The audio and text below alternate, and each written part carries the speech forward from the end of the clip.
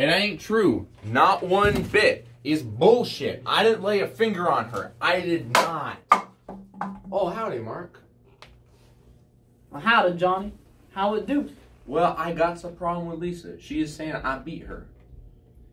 Is it true? Did you? No, it's not true. Not even one bit. So anyway, how are you? Well, I'm just sitting up here thinking, you know. I got a question for you. Well, let's hear it. You reckon ladies like to cheat like us men? Why you reckon that? I don't know. I don't know. I'm just thinking, wondering.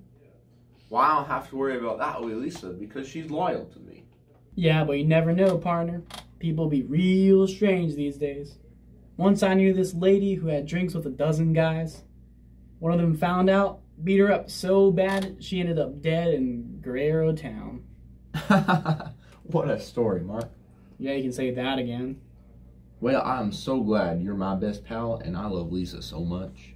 Yeah, partner. The good Lord sure does love you. Well, how about you get yourself a lady, Mark? Yeah. Yeah, mayhaps you're right. Maybe I already got one. Not too sure. Well, hey, what about Betty Lou? That's her name? Betty Lou? Yes, sir. Yeah, I don't see her no more. You know, she couldn't cook a meal if the gold rush depended on it. She was beautiful, but we just had too many arguments. That's a real shame, partner. Lisa is great when I can get it. Oh man, I just don't understand lady folk. Sometimes they're just too smart. Sometimes they're just flat out stupid. Sometimes they're just vile little things. Well, it seems to me you're a well-educated man, Mark. Nah, definitely not that smart, Johnny. What's nibbling, Mark? Ain't a thing, partner. You hiding something? How about you tell Nah, me? forget it, man. Spill No, just forget it. No, how about you forget think- about it? No, I'm sick of you, Johnny. I'm just ride it out. Well, that ain't no thing.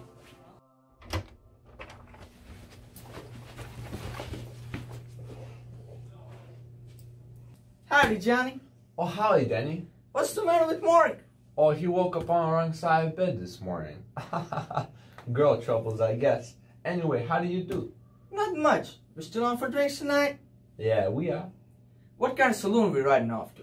Uh, we'll go to. Don't worry about it, Danny. You plan too much, things might not go perfect. Alright, now throw me that old pigskin.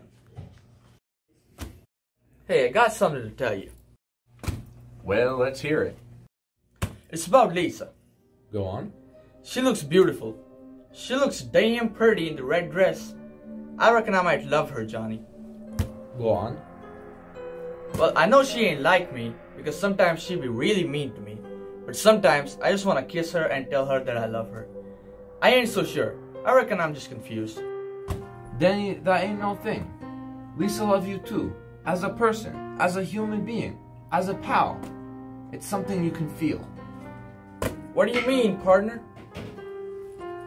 If you love someone deep down inside, there ain't nothing wrong with that. If a lot of people loved each other, the world, by golly, would be a better place to live. But Johnny, ain't Lisa supposed to be your wife one day? Denny, that ain't no concern. You're a part of our family, and we love you very much, and we will help you anytime. Lisa loves you too. As a pal, you're like a son to her. So you mean you ain't even slightly upset with me? Denny, it's okay. I trust you, and I trust Lisa too. How's about Elizabeth, huh? Well, I love her too. Mm-hmm. Well, when I get an education, a nice job, I fancy I'll marry her and have her kids. That's the way it goes, young buck. You're right. Thanks for your generous support. Anytime, Denny. And remember, anytime you need help, just let us know, and we'll be here for you. Thank you. Thank you, Johnny. Alright, Denny, let's go. Let's get. I'm ready and dying for a drink.